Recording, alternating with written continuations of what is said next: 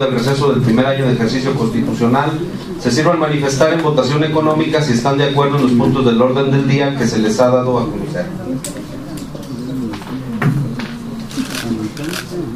Diputada Presidenta de la Mesa Directiva, el orden del día que se nos ha dado a conocer es aprobado por unanimidad de los diputados presentes que integran esta Diputación Permanente. ¿Es cuánto, Diputada Presidenta?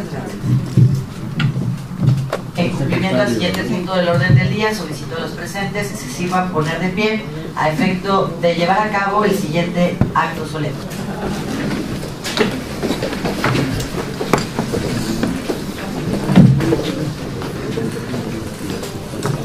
Bajo los parámetros legales previamente establecidos en nuestro marco legal legislativo, esta presidencia de la mesa directiva, hoy miércoles 6 de agosto del 2014, declara instalada formal y legalmente la mesa directiva de la Diputación Permanente que habrá de fungir durante el segundo periodo de receso correspondiente al primer año de ejercicio constitucional de la honorable 62 segunda legislatura del Estado Libre y Soberano de Aguascalientes, así como el inicio oficial de las actividades legislativas inherentes a su propia función constitucional.